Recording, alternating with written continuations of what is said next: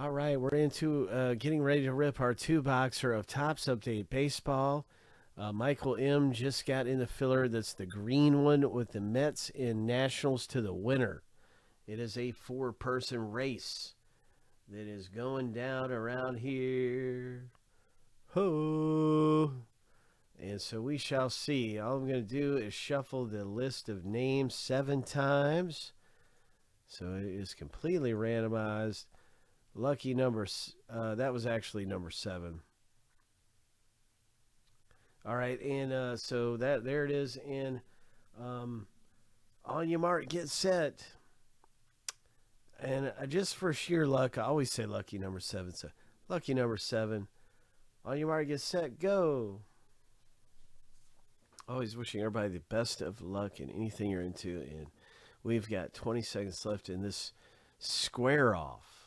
I don't know what you want to call it. Race off, square off, uh, showdown, mow down.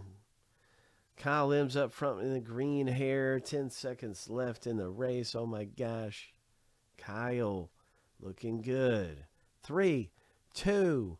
Stephen Case coming out. Oh my. Whoa. All right. wow. You never know what's going to happen in some of these races. Kyle's been in a lucky, lucky guy around here today.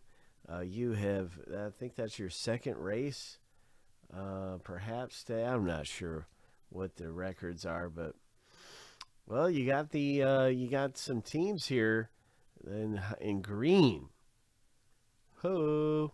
So your odds just increased for winning the Mariners. All right, so that filler is gone.